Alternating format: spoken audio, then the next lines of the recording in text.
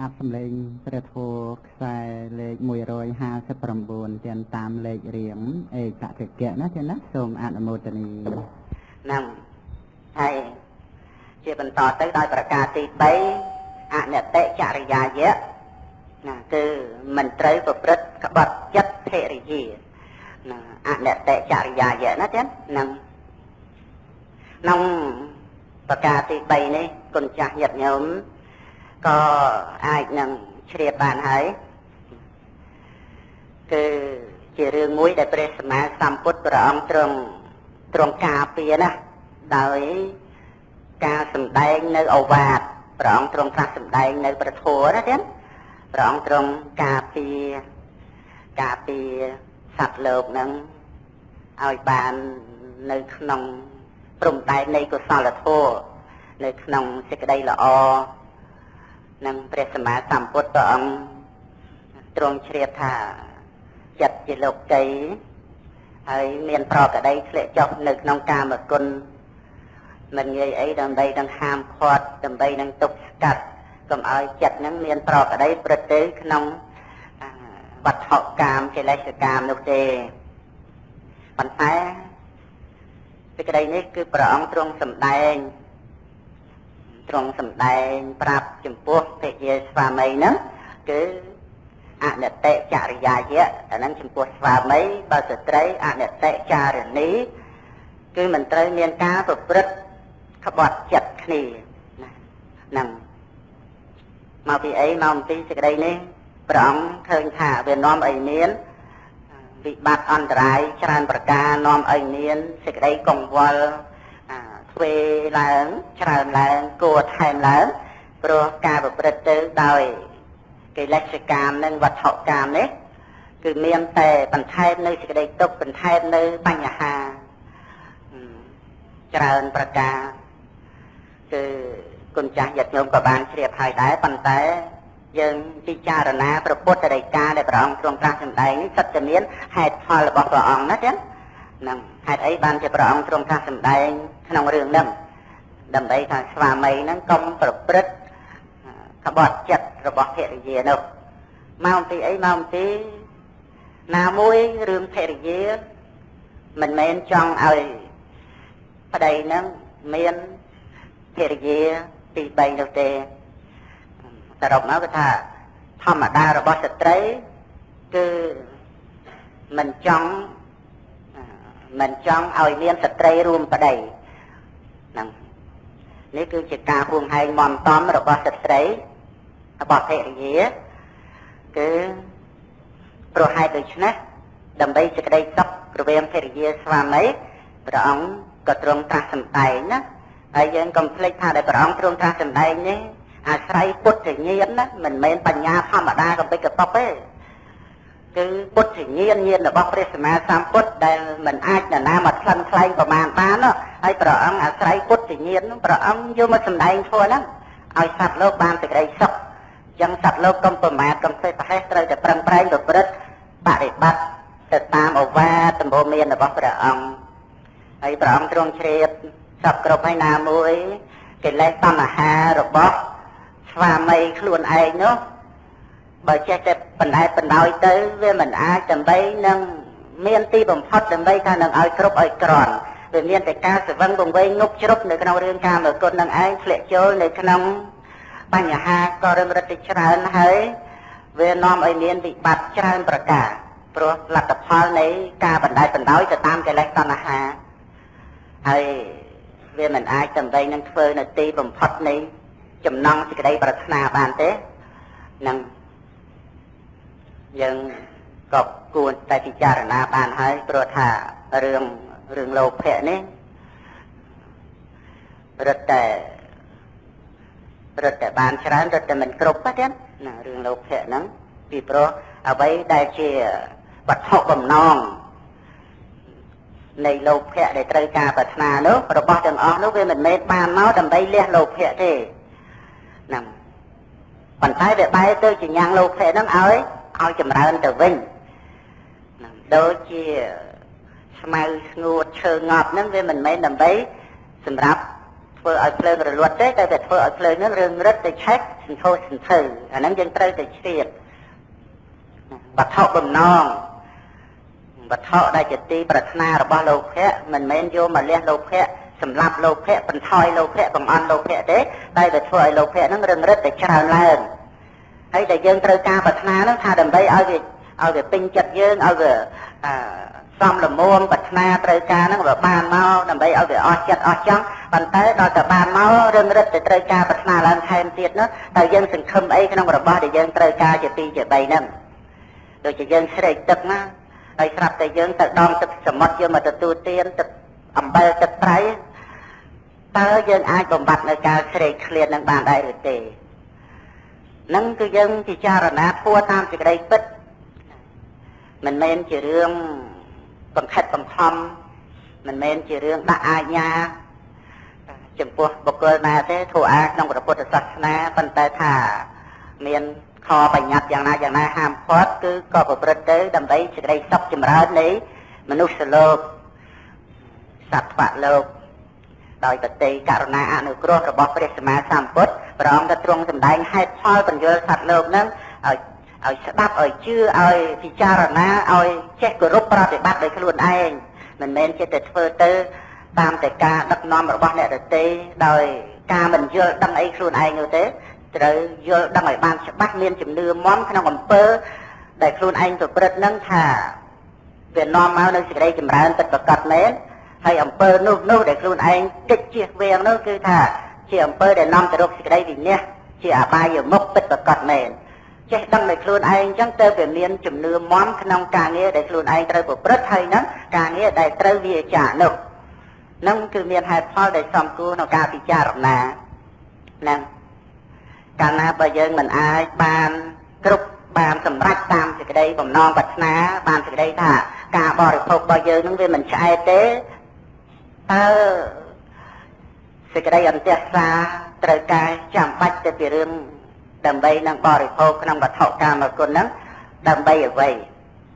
បើវារឹងរិតទៅត្រូវការវារឹងរិតទៅមានសេចក្តីប្រាថ្នាវារឹងរិតទៅស្រេកឃ្លានឡើងថែមទៀតនោះអាហ្នឹងបានជាព្រះអង្គទ្រង់ទ្រង់សម្ដែងដើម្បីប្រយោជន៍សេចក្តីសុខណាមួយគឺដើម្បីអនុគ្រោះដល់ភរិយាដែលមានបំណងរួមរស់នៅជាមួយស្វាមី មិនចង់ឲ្យមានស្ត្រីរួមប្តីជាបំណងសំខាន់ណាស់ហើយយ៉ាងទៀតនោះបើប្រព្រឹត្តទៅតាមអំណាចនៃលោភៈរបស់ស្វាមីខ្លួនឯងហ្នឹងក៏វាមិនចម្រើនវាមិនព្រឹត្តទៅដើម្បីការរួចផុតចាកទុកទេព្រោះថាការព្រឹត្តទៅតាមអំណាចលោភៈតណ្ហាវាជាការបង្កនៅនៅសេចក្តីទុកក្នុងក្នុងវដ្តសង្សារលោភៈហ្នឹងជាជាទុក្ខសមុទយៈជាហេតុនៃសេចក្តីទុក្ខ ច្រើនប្រការហ្នឹងហើយយ៉ាងទៀតក៏ដើម្បីអនុគ្រោះដល់កូនប្រុសស្រីផងដែរបញ្ហាសង្គមនៃជីវិតគុណចាស់ញាតិញោមក៏បានជ្រាបទៅតាមនឹងអញ្ចឹងព្រោះថារឿងវងត្រកូលរឿងគេឈ្មោះនេះវាសំខាន់ណាស់ល្បីល្បាញទៅទាំងល្អទាំងអាក្រក់តាមពិតគឺថារឿងរឿងគេឈ្មោះនេះវាជាយហោសម្រាប់រស់ព្រឹត្តទៅដោយ មានសេរីសួស្តីក្នុងក្រុមគ្រួសារតកូនតចៅអាក្រៃគេឈ្មោះល្អនៃវងត្រកូលនឹងមេដាបេដាក៏ត្រូវតែគិតគូររៀបចំសម្ដាប់ស្នប់ចរិយាមេរយាទការប្រព្រឹត្តឲ្យបានសមរម្យដើម្បីជាមរតកសម្រាប់កូនចៅគឺគេឈ្មោះល្អក្នុងវងត្រកូលនេះឯងសំខាន់ណាស់កុំឲ្យវាមានការខូចមេរយាទ ជាពិសេសមេរយាទនៅក្នុងរឿងកាមគុណមេរយាទនៅក្នុងរឿងស្រីស្រាលបែងសពរុបការហ្នឹងវាជាមេរយាទមិនល្អទុកចែកឲ្យកូនចៅយើងស្រឡាញ់កូនចៅមិនមែនទុកតែទ្រព្យសម្បត្តិចែកឲ្យនោះទេគឺថាមេរយាទល្អគេឈ្មោះល្អនឹងព្រះសម្មាសម្ពុទ្ធទ្រង់ជ្រាបសពគ្រប់ទាំងអស់ព្រះអង្គទ្រង់ត្រាស់សម្ដែងនៅធัวនឹងលមូនតែភរិយាស្វាមីនឹងប្រព្រឹត្តបាន តាមពិតកិលេសដែលត្រូវវាចាដែលត្រូវលះបង់នោះវាមានសពគ្រប់តែទាំងអស់ហ្នឹងមានសពគ្រប់តែទាំងអស់ហ្នឹងរាគៈតាំងពីក្រោតក្រៀតតាំងពីកដាលតាំងពីល្អិតមិនលះតែអាក្រោតគ្រៀតឬអាកណ្ដាលហ្នឹងទេអាល្អិតហ្នឹងក៏ត្រូវប្រព្រឹត្តព្រះមច្ចរិយធម៌ដើម្បីលះព្រោះហេតុដូច្នេះបានជាព្រះអង្គទ្រង់សរសើរនៃខមៈនោះ ប្រព្រឹត្តដើម្បីដកខាត់កណ្ដាលនៃចិត្តនឹងឯងប៉ុន្តែថាបើធ្វើជាអ្នកបួសមិនបានទៅហើយមានឧបនិស្ស័យត្រូវនៅគ្រប់គ្រងផ្ទះយ៉ាងណាយ៉ាងណាក៏ព្រះអង្គទ្រង់ត្រាស់សម្ដែងប្រធัวហ្នឹងដើម្បីសេចក្តីល្អកណ្ដាលអ្នកគ្រប់គ្រងផ្ទះហ្នឹងដែលអាចនឹងប្រព្រឹត្តទៅស្វែងរកសេចក្តីសុខព្រវាមភរិយាស្វាមីនឹងបានយ៉ាងណាយ៉ាងណាព្រះអង្គទ្រង់អាស្រ័យបតិករណាទ្រង់ត្រាស់សម្ដែងនៅប្រធัวនឹងឯង មានហេតុផលវែងឆ្ងាយសពគ្រប់ណាស់បើយើងបានសិក្សាជំវិញជីវិតរស់នៅសិក្សាពីរឿងទុកទុករបស់វត្តសង្សារបានយើងឃើញថាលំអនៃព្រះធម៌ហ្នឹងគឺយើងមិនអាចកាក់ស្មានបានទេប៉ុន្តែទទួលស្គាល់ថាពិតជាល្អសម្រាប់ការប្រព្រឹត្តបរិបត្តិនឹងពីព្រោះមានហេតុផលបាស់លាស់ត្រឹមត្រូវសពគ្រប់ទាំងអស់ដែលត្រូវវាចានៅ ការប្រព្រឹត្តខុសឆ្គំឆ្គងយ៉ាងណាយ៉ាងណាហ្នឹងគឺចាំបាច់គឺត្រូវតែវាចានឹងឯងហ្នឹងដូចជាអនតិចរិយាយៈនេះគឺព្រះអង្គទ្រង់សម្ដែងដើម្បីការរស់នៅ ក្នុងក្រុមគ្រួសារនឹងបានសេចក្តីសុខចម្រើនរុងរឿងប្រតិក្នុងការព្យាយាមស្វែងរកទ្រព្យសម្បត្តិដើម្បីចិញ្ចឹមបុត្រភរិយានឹងបំពេញតួនាទីរបស់ខ្លួនឯងជាប្តីជាស្វាមីជាផុសស្ដាដែលថាជាម្ចាស់ក្នុងក្រុមគ្រួសារជាអ្នកធំជាអ្នកចិញ្ចឹមបុត្រនិងភរិយានឹងយ៉ាងណាគឺត្រូវបំពេញតួនាទីដើម្បីជាអ្នកគ្រប់គ្រងចិញ្ចឹមបីបាច់ថែរក្សានឹងឲ្យបានក្នុងកិច្ចការងារដែលត្រូវធ្វើនោះក៏ត្រូវតែជាសម្មាអាជីវោគឺជាអ្នកចិញ្ចឹមជីវិតដោយប្រពៃនឹងលមមតែយើងគ្រប់គ្រងបានចំពោះភរិយាមួយអញ្ចឹងទៅហើយកូន នៅក្នុងក្រុមគ្រួសារហ្នឹងហើយបើយើងចេះតែពង្រីកសមាជិកវាច្រើនទៅអញ្ចឹងក្រែងលោកការគ្រប់គ្រងរបស់យើងមិនដិតដល់ពេលបណ្ដាចិត្តឲ្យប្រព្រឹត្តអាក្រក់ក្នុងផ្លូវផ្សេងផ្សេងអាហ្នឹងវារីករាលដាលទៅរហូតដល់ទៅហ៊ានធ្វើអំពើអាក្រក់ចាំបាច់ដើម្បីត្រូវកេងប្រវាញ់គេត្រូវលួចប្លន់គេត្រូវឆោបោកគេដើម្បីអីដើម្បីត្រូវការថវិកាទ្រព្យសម្បត្តិ យកទៅឲ្យអ្នកនេះផងយកទៅឲ្យអ្នកនោះផងទាឆ្វេងទាស្ដាំសពគ្រប់ហ្នឹងវាមានតែធ្វើអាក្រក់ទៅហ្នឹងអាហ្នឹងទៅចូលនៅក្នុងផ្លូវនៃសេចក្តីវិញ្ញាព្រះអង្គទ្រង់ជ្រាបសពគ្រប់រឿងគ្រាវះរឿងលោកវិស័យហ្នឹងចឹងព្រះអង្គទ្រង់សម្រួលការប្រព្រឹត្តចរិយាធម៌ហ្នឹងឲ្យតាំងនៅក្នុងសេចក្តីចម្រើននឹងបានគ្នាជាភារកិច្ចស្វាមីហើយក៏អាចបំពេញសេចក្តីល្អឲ្យប្រការណាណាក៏ព្រមព្រៀងប្រព្រឹត្តទាំងអស់គ្នាទៅហ្នឹង ការធ្វើទានក៏ព្រមព្រៀងគ្នាការរក្សាសិលក៏ប្រព្រឹត្តទៅស្រស់ស្រួលគ្នា ដើម្បីជាភារយាស្វាមីល្អហើយទី4ដែលស្វាមីត្រូវប្រព្រឹត្តចំពោះភារយាហ្នឹងអិសរិយវោសកេណៈគឺជាអ្នកបង្អោននៅភាពជាធំនឹងឲ្យដល់ភារយាគ្រប់គ្រងក្នុងក្រុមគ្រួសារធម្មតាភារយាមាន ទ្រព្យសម្បត្តិមានគ្រឿងប្រដាប់កាយហើយក៏គង់តែមានអធិស្រ័យពេញចិត្តដើម្បីនឹងចាត់ចែងកិច្ចការងារក្នុងផ្ទះមានការដណ្ដើមស្លឬក៏រៀបចំទុកដាក់នៅរបស់របរក្នុងផ្ទះព្រោះអធិស្រ័យរបស់ស្ត្រីហើយបានដើរតួជាភរិយាហ្នឹងចូលចិត្តរឿងកពិចកប៉ុកក្នុងផ្ទះហ្នឹងណាត្រូវ ត្រូវគ្នានេះគឺនិយាយដោយភាកច្រើនណាទៀតហ្នឹងគឺចូលចិត្តរឿងនៅក្នុងផ្ទះសពគ្រប់ទាំងអស់តាំងពីគ្រប់គ្រងកូនចៅនឹងហើយផ្ទះសម្បែងជាពិសេសគឺការដាំស្លដែលនឹងត្រូវធ្វើយ៉ាងណាឲ្យមានការបំរើស្វាមីនោះអញ្ចឹងនៅក្នុងសេចក្តីនេះព្រះសម្មាសម្ពុទ្ធព្រះអង្គទ្រង់សម្ដែងអំពី សង្កហៈធัวណាធัวសង្គ្រោះរបស់ស្វាមីណាក្នុងការសង្គ្រោះភរិយាហ្នឹងគឺសង្គ្រោះយ៉ាងម៉េចគឺត្រូវត្រូវលះបង់នៅភាពជាធំហ្នឹងឲ្យដល់ភរិយាតែអិសរិយៈអិសរិយៈនឹងគឺជាយោះមួយដែលធំក្នុងបណ្ដាយោះទាំងឡាយមានបរិវារយោះមានកិត្តិយសហើយក៏មានអិសរិយយោះនេះចឹង អិសរិយៈវោសកេណៈវោសកេណៈគឺថាជាការប្រគល់ឲ្យនឹងឲ្យភាពជាធំក្នុងផ្ទះនឹងហើយយ៉ាងទៀតនោះគឺស្វាមីក៏ត្រូវតែគ្រប់គ្រងភាពជាធំខ្លួនឯងភាពជាអិសរៈខ្លួនឯងក៏ដូចជាការប្រគល់នៅភាពជាធំនឹងឲ្យដល់ភរិយាផងដែរ ពីព្រោះព្រះសម្មាសម្ពុទ្ធព្រះអង្គទ្រង់ត្រាស់សម្ដែងពីកម្លាំងរបស់ភរិយាដែលដែលប្រព្រឹត្តទៅដើម្បីគ្រប់គ្រងចិត្តស្វាមីបាននោះដោយកម្លាំង5ប្រការដោយកម្លាំងញាតដោយកម្លាំងទ្រព្យនិងដោយកម្លាំងរូបសម្បត្តិដោយកម្លាំងបុត្រដោយកម្លាំងសិល មេរយាទល្អ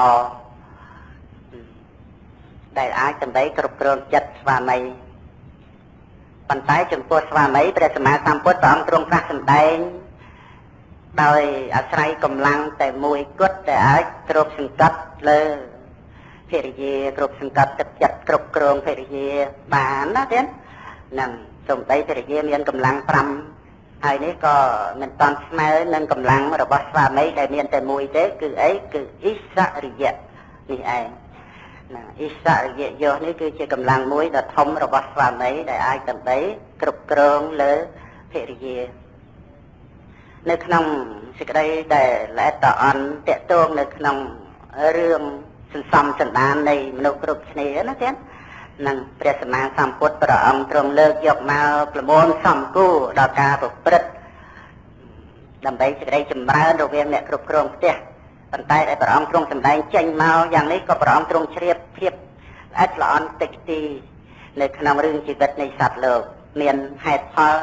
ដែលត្រូវប្រព្រឹត្តទៅដើម្បីសេចក្តីចម្រើនយ៉ាងណាយ៉ាងណាព្រះអង្គទ្រង់ត្រាស់សម្ដែងយ៉ាងនោះដោយបតីអនុគ្រោះឲ្យសត្វលោកនឹងដែលថា ត្រូវស្វែងរកសេចក្តីសុខសម្រាប់ជីវិតខ្លួនឯងទោះជាថាមិនដល់សេចក្តីសុខក្នុងសួរព្រះនិព្វានអីណាទេគឺថាឲ្យវាបង្កបង្កើតលើសេចក្តីសុខក្នុងបច្ចុប្បន្ននឹងសិននឹងរវាងភរិយាស្វាមីនឹងព្រះអង្គទ្រង់ទ្រង់ត្រាស់សម្ដែងនៅនៅការសង្គ្រោះរវាងគ្នានឹងគ្នាណាទៀតនឹងភាពអិសរិយយោនេះនឹងញាតិញោមបងប្អូនជ្រាបហើយ ដែលភាពជាស្វាមីនឹងត្រូវរក្សាភាពអិសរៈរបស់ខ្លួននឹងយ៉ាងណាឲ្យបានល្អកុំឲ្យវាមានការវិន័យវិន័យអន្តរាយដោយសេចក្តីប្រមាទដោយសេចក្តីខ្វេះប្រហែសរបស់ខ្លួនទៅតាមសមត្ថភាពដែលខ្លួននឹងអាចប្រព្រឹត្តទៅបានហ្នឹងដើម្បីអីក៏ដើម្បីជាប្រយោជន៍ជារិទ្ធសុខក្នុងក្រុមគ្រួសារផងដែរព្រោះជាសម្បត្តិមួយដើម្បីជាហេតុឲ្យរក សេចក្តីសុខស្រួលនៅក្នុងជីវិតដែលរស់នៅក្នុងការគ្រប់គ្រងបុត្រភរិយាហ្នឹងហើយម្យ៉ាងទៀតនោះទី5ដែលត្រូវសង្គ្រោះភរិយាអលង្ការានុបទាននៃអ្នកប្រំត្រង់ជ្រាបបនិស័យរបស់ស្ត្រីជាភរិយា ដែលត្រូវការគ្រឿងប្រដាប់កាយជាធម្មតាយ៉ាងណាស្វាមីក៏ត្រូវតែឲ្យបកុលនៅគ្រឿងប្រដាប់កាយនោះ ឲ្យដល់ភរិយាសំគួរតាមទ្រព្យសម្បត្តិដែលខ្លួនមាននោះផងដែរហ្នឹងហើយសេចក្តីត្រង់នេះភរិយាល្អក៏ត្រូវតែស្គាល់ហេតុផលជំវិញជីវិតរស់នៅនឹងទ្រព្យសម្បត្តិដែលត្រូវរកបាននឹងកម្លាំងជាយាមរបស់ស្វាមីក៏ប្រព្រឹត្តអ្វីៗឲ្យវាមានការសំរុំនៅក្នុង ជីវិតដែលត្រូវរស់វែងឆ្ងាយតទៅមុខនោះក្នុងកាលដែលត្រូវប្រើប្រាស់គ្រឿងប្រដាប់កាយគ្រឿងអលង្ការយ៉ាងណាយ៉ាងណាក៏ដោយសេចក្តីសន្តោសទៅតាមធម៌ទៅតាមការដែលព្រះអង្គទ្រង់សម្ដែងថាសេចក្តីសន្តោសហ្នឹងជាធម៌ជាវិន័យជាពាក្យទូមានព្រានបដៅរបស់ព្រះសាស្តាហើយតម្កល់ខ្លួននៅក្នុងភាពជាបុគ្គលដែលមានអ្នកដតីចិញ្ចឹមនោះ ត្រូវតែតម្កល់ខ្លួនឲ្យជាអ្នកដែលគេចិញ្ចឹមបានដោយងាយជាជាមអប់រំទូមានខ្លួនឯងកុំឲ្យអ្នកដតីនឹងលំបាកដោយសារខ្លួនឯងច្រើនច្រើនកាត់បន្ថយរហូតដល់ទៅថាមិនមានបំណងត្រូវការដើម្បីឲ្យអ្នកដតីនឹងឯងលំបាកដោយសារយើងមិនថាតែអ្នកដតីវែងឆ្ងាយណាទេសំបីតែរឿងភរិយាស្វាមីនឹងក៏ដោយ ក៏យើងអាចដើម្បីអនុគ្រោះអាចសង្គ្រោះបានក៏ចេះតែប្រព្រឹត្តទៅគឺជាការល្អជាការសន្សំឧបនិស្ស័យមួយដែលយើងត្រូវកាត់បន្ថយការបៀតបៀនការរំគួនការរំខានដល់អ្នកដទៃហើយដាក់ជំនួសមកវិញនៅការផ្ដល់ផលប្រយោជន៍សេចក្តីសុខសេចក្តីងាយសេចក្តីស្រួលឲ្យដល់អ្នកដទៃនឹងកាត់បន្ថយនៅចំណងដែលយើងចិត្តតែចង់បានពីអ្នកដទៃនោះដាក់បន្ថែមមកវិញនៅការដែលយើងប្រគល់អ្វីអ្វី ឲ្យដល់អ្នកដទៃដើម្បីអ្នកដទៃបានសេចក្តីសុខដោយសារយើងវិញនេះវាជារឿងដែលយើងត្រូវរៀនត្រូវអប់រំត្រូវវឹកហាត់បន្តិចម្ដងបន្តិចម្ដងក្នុងជីវិតដែលយើងនៅរស់នេះណាព្រោះអ្វីៗវាត្រូវកើតមកពីការអប់រំដែលត្រូវកើតមកអំពីការដែលត្រូវចម្រើនដោយការឆ្លាតឆ្លៀសចំណេះចេះដឹងហ្នឹងគឺការសំដែងនេះ អាស្រ័យបុគ្គលដែលស្ដាប់មានបញ្ញាល្អណាទៀតមិនមែនគ្រាន់តែស្ដាប់ទៅដើម្បីគិតគូរនៅក្នុងការគ្រប់គ្រងផ្ទះនោះទេកាលណាបើស្ដាប់ទៅឃើញសភាពស្មុគស្មាញឃើញសភាពដែលលំបាកឃើញសភាពនឿយហត់សពគ្រប់ប្រការមានភរិយាស្វាមីមានកូនមានចៅត្រូវទុកដាក់កូនចៅយ៉ាងណាយ៉ាងណាទំនុកម្រងថែទាំរក្សាបើថាមិនធ្វើទេវាមិនបានបំពេញតួនាទីរបស់ខ្លួនឯងជាភរិយាស្វាមីជាមេដាបេតាម្ល៉េះត្រូវធ្វើដើម្បីឲ្យវាពេញ លក្ខណៈខ្លួនឯងជាមេដាបេតាជាភិយាស្វាមីល្អហ្នឹងវាត្រូវឆ្លងកាត់នៅរឿងទុករឿងលំបាករឿងរវល់ច្រើនប្រការណាម្ល៉េះហើយឱកាសពេលវេលាសម្រាប់ដកខាត់កិលេសក្នុងសន្តាននៅចិត្តវាមិនសូវមានទេហ្នឹងកូនចៅលំបាកតាំងពីក្មេងធំតាំងក្តីពេញវ័យត្រូវរៀបអាពេលពីពេលឲ្យមានប្តីមានប្រពន្ធលំបាកមកពេលរៀបការហ្នឹងសពគ្រប់សពប្រការទាំងអស់នឿយហត់ នៅក្នុងរឿងរៀបចំទុកដាក់ឲ្យកូនប្រុសស្រីនឹងបានសេចក្តីសុខជួនកាលក៏ប្រព្រឹត្តធ្វើនៅអំពើបាបកាប់គោកាប់ក្របីសម្លាប់ត្រី ដើម្បីយកមករៀបចំការកូនការចៅអីហ្នឹងនឹងជាការសន្សំនៅសេចក្តីទុកកង្វល់ក្នុងជីវិតហ្នឹងបង្កហេតុនៃកម្មពីវរាច្រើនប្រការនឹងកាលដែល បុគ្គលអ្នកមានប្រាជ្ញាមានឧបនិស្ស័យស្ដាប់ទៅក៏អាចធុញទ្រាន់នឿយណាយនឹងរឿងគ្រប់គ្រងផ្ទះក៏អាចដើម្បីការប្រព្រឹត្តនៃខមៈនឹងឲ្យបានល្អដើម្បីឲ្យបានឆ្លងរួចផុតអំពីរឿងវត្តសង្សាររឿងចំណងលោកតីដែលតេតងគ្នានៅក្នុងលោកនេះរវាងភិយាស្វាមីឬក៏ជាមួយនឹងកូនប្រុសស្រីអីនឹងយ៉ាងណាយ៉ាងណាហ្នឹង មិនមែនជារឿងបង្ខិតបង្ខំឲ្យត្រូវតែមានភរិយាស្វាមីទេប៉ុន្តែថាបើបានជាមានហើយក៏ត្រូវតែមានធัวសង្គ្រោះគ្នាហ្នឹងមិនមែនជារឿងបង្ខិតបង្ខំត្រាត្រូវតែមានកូនប្រុសស្រីទេបើតែបើថាមានហើយក៏ត្រូវតែមានធัวសង្គ្រោះកូនប្រុសស្រីនោះហ្នឹងហើយកាលណាបើយើងបានស្ដាប់ពីការសង្គ្រោះរបស់ស្វាមីដោយធัว5ប្រការចំពោះភរិយា ម្យ៉ាងគឺដោយការរាប់អានលើកតម្កើងភរិយានោះឲ្យបានពេញមុខពេញមាត់ជាភរិយាមិនលាក់មិនលៀមិនមិនអៀនមិនខ្មាស់ដោយក្នុងរឿងផ្សេងផ្សេងនោះទេហើយនឹងមិនប្រមាថមិនមើលងាយដូចជាមនុស្សដែលត្រូវសម្លុតគម្រាមកំហែងទាំងឡាយទាំងពួងទេគឺមានការរក្សាចិត្តភរិយានោះដោយជៀសវាងការមើលងាយដោយកាយវាចា សំបីតែដោយចិត្តគិតនឹងចាំមិនប្រព្រឹត្តក្បត់ចិត្តភរិយាហើយប្រគល់នៅភាពជាធំគ្រប់គ្រងថែទាំចេះសម្បែងហូបអាហារចាត់ចែងព្រឹកងារយ៉ាងណាហើយនឹងមានការប្រគល់ឲ្យនៅគ្រឿងអលង្ការប្រដាប់កាយគ្រាន់នៅផ្ទះសម្បែងយ៉ាងណាទៅវត្តទៅវាទៅផ្សារទៅជំនុំជនអីហ្នឹងយ៉ាងម៉េចយ៉ាងណាក៏ត្រូវតែចាត់ចែងរៀបចំ បំពេញតួនាទីខ្លួនឯងជាស្វាមីសេចក្តីនេះគឺព្រះអង្គមិនមែនសម្ដែងចំពោះតែរឿងការសង្គ្រោះរបស់ស្វាមីទេក៏ត្រូវតែភរិយានឹងឯងប្រព្រឹត្តបរិបត្តិខ្លួនឲ្យឲ្យសមគួរនឹងនឹងការសង្គ្រោះរបស់ស្វាមីផងដែរនឹងពីព្រោះរឿងទាំងអស់នេះក៏មិនមែន អាស្រ័យធัวហើយចិត្តតែបង្ខិតបង្ខំថាស្វាមីត្រូវតែមានធัว5យ៉ាងហ្នឹងទៅលើភរិយាបង្ខិតបង្ខំយ៉ាងម៉េចបានបើចិត្តដែលវាត្រូវកើតឡើងខុសអំពីធัวដែលព្រះអង្គទ្រង់សម្ដែងហ្នឹងពិតមែនតែធัวហ្នឹងល្អប្រពៃត្រឹមត្រូវហើយព្រះអង្គទ្រង់សម្ដែងប៉ុន្តែចិត្តដែលវាកើតឡើងព្រឹកទៅ ដើម្បីមើលងាយភរិយាព្រឹត្តទៅដើម្បីក្បត់ចិត្តអីហ្នឹងយ៉ាងណាយ៉ាងណាអាហ្នឹងវាជាកិលេសជាអកុសលធម៌កើតឡើងមិនមែន មិនមែនព្រះលោកបដៅបង្រៀនឲ្យឲ្យធ្វើអញ្ចឹងទេតែរឿងហ្នឹងវារឿងកិលេសដែលកើតឡើងដូច្នេះដើម្បីមានការរួបរวมនៅសង្ឃហធម៌នឹងរវាងគ្នានឹងគ្នាក៏ភរិយាមានការប្រព្រឹត្តបប្រតិបត្តិខ្លួនឯងឲ្យល្មមសំគួរថាប្តីមានសង្ឃហធម៌5ប្រការនឹងឯងគឺមិនខុស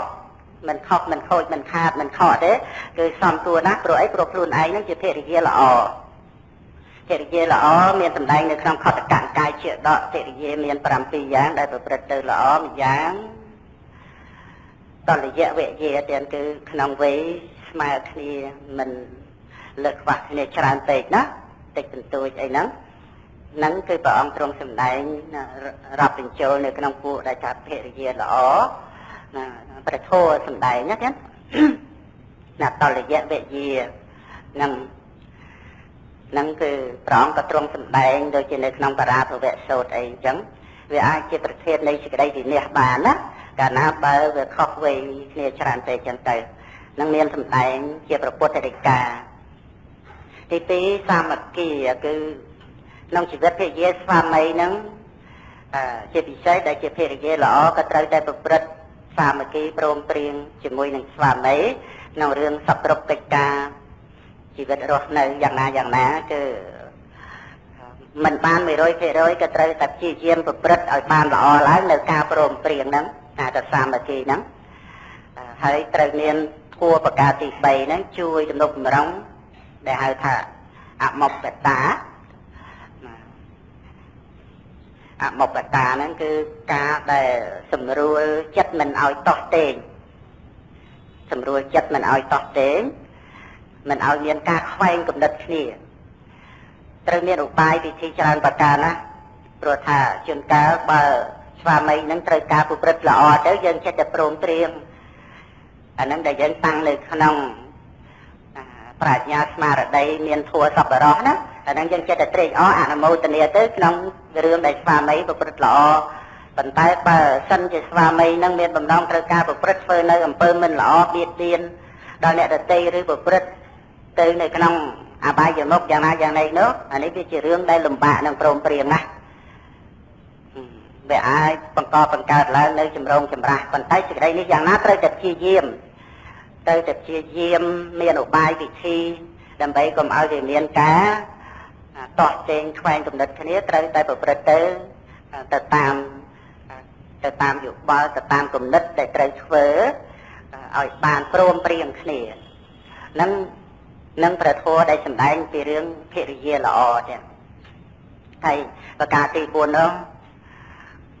កាមធម្មតាគឺមានការប្រព្រឹត្តទៅដោយសេចក្តីត្រូវការប្រាថ្នាសិក្សារៀនសូត្រនៅប្រធัวណាធម្មកាមតាចំពោះភរិយាល្អគឺជាភរិយាដែលប្រាថ្នាប្រព្រឹត្តបរិបត្តិប្រធัวសុចរិតធัวប្រព្រឹត្តនៅកុសលធัวណាចឹងហ្នឹង ព្រោះចាំបាច់បើអត់មានកុសលធម៌អត់មានសប្បុរសធម៌ហើយมันអាចធ្វើទៅជាភរិយាល្អបានទេដូច្នេះបើយើងខ្វះខាតការចេះដឹងត្រូវតែប្រឹងប្រែងស្ដាប់ប្រឹងប្រែងសិក្សារៀនសូត្រក្នុងឱកាសពេលវេលាដែលយើងអាចប្រព្រឹត្តទៅបានហ្នឹងយើងព្យាយាមសិក្សារៀនសូត្រដើម្បីឲ្យយើងបានប្រព្រឹត្តនៅធម៌ល្អហ្នឹងហើយប្រការទី5នោះជារឿងដែលមានជំរឿ ដែលព្រះសម្មាសម្ពុទ្ធទ្រង់សម្ដែងថាដែលនឹងអាចល្អទៅតាមធម្មជាតិណាទៀតអានេះវាវាដូចជាហួសវិស័យនៃការប្រព្រឹត្តរបស់ភរិយាដែរគឺព្រះអង្គទ្រង់សម្ដែងថាចំពោះភរិយាដែលដែលអាចមានបុត្រទៅបានណា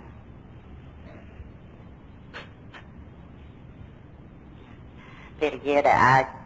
មានបទបានហ្នឹងបល័យថាបជាតាបជាតានេះវាជាច្បាប់ធម្មជាតិរៀបចំមកទេសាធុទាំងសូមអនុមោទនារងចាំស្ដាប់ព្រះធម៌ជាបន្តទេណាការស្ដាប់ព្រះធម៌ដោយល្អរមែងបានចម្រើនទៅដោយគំនោបនផង បានចម្រើនទៅដោយគំនោនៃការចេះដឹងគឺបញ្ញាផង សម្បត្តិបញ្ញានេះកម្រកើតមានសម្រាប់សសត្វលោកណាស់ ដូច្នេះការបានជួបប្រទេសនៅហេតុដែលនាំឲ្យចម្រើនបញ្ញា គួរតែព្យាយាមអប់រំចម្រើនរឿយរឿយសូមអនុមោទនារងចាំស្ដាប់ព្រះធម៌ជាបន្តទៀត